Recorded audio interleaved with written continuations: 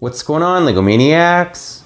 It's Ty, the LEGO guy here, and welcome to another Old School Wednesday review. Today we're journeying back to the Wild West theme and taking a look at the Chiefs Teepee that set 6746. It had 131 pieces, three minifigures, came out in 1998, and it retailed for 20 USD. Now nowadays this is going for 217 new or 81 used. That is incredible. Even used this set's four times what it was going for when it was on shelves. Although you have to adjust for inflation, but you get what I'm saying. It's appreciated a lot. There are reasons why. We're gonna take a look at the good and bad of this model.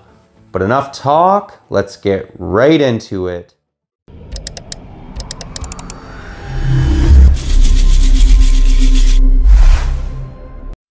And to kick us off, we'll begin by giving you guys a 360 view of the set. As you can see, there are a number of unique elements that make up this theme.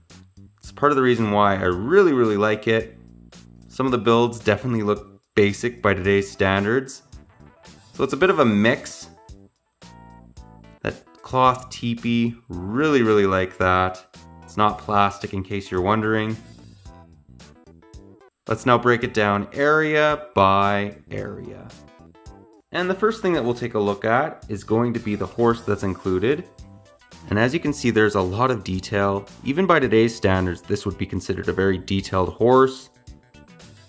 There's some of my favorite, basically to come out of the 90s, as far as horses go, or as far as printed pieces, if you want to call this a piece goes.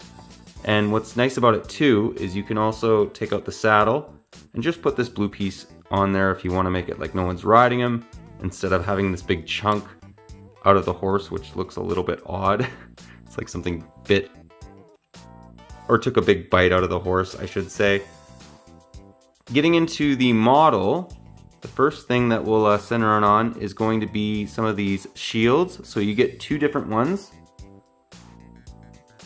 And then you also get the medicine man's bull hat basically. He's not included in this set, but his shield is, which is interesting.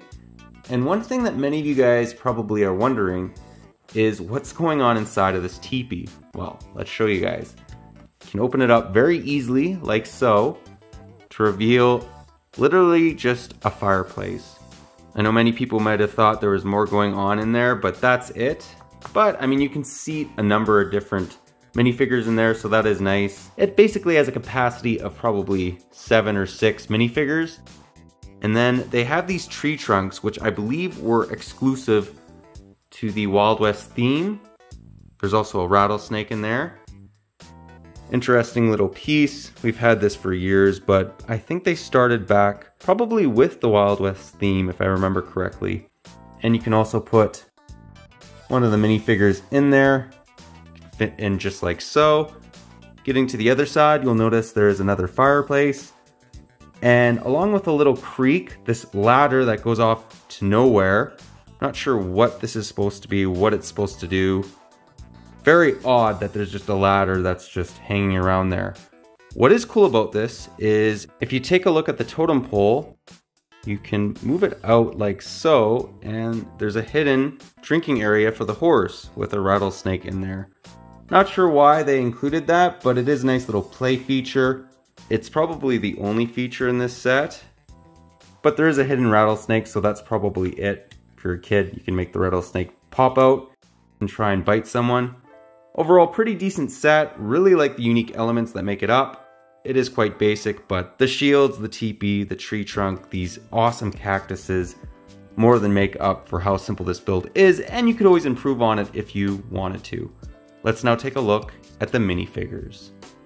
And here we have the three minifigures that are included in this set. So in the middle, we have the chief. On the left, we have what I believe is the chief's daughter, along with the Native American archer.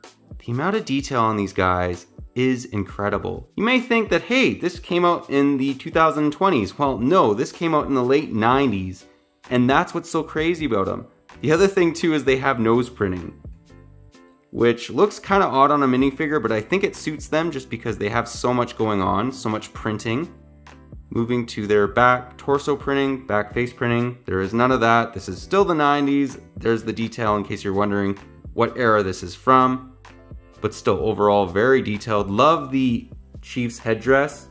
Looks quite good in my opinion. These, along with the UFO minifigures, were probably the most detailed ones to come out of the 90s. There was a couple others like Pharaoh Hotep to come out of the Adventurers Egypt line, but having this amount of detail was basically unheard of, especially again for the 90s. Let's now get into the end of the review and get my final thoughts.